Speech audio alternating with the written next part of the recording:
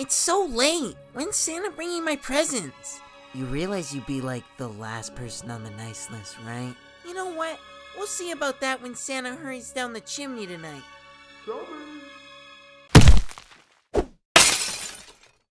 So you're telling me some guy fell down the chimney, broke his neck. What, do you have a red suit and a big fluffy beard too? Yeah. Ow! You're gonna waste my time on Christmas Eve and assault my partner? I tell you what, you little brat, the naughty list isn't enough for you. And then on that day, his heart had grown three sizes. It got really inflamed and then he died.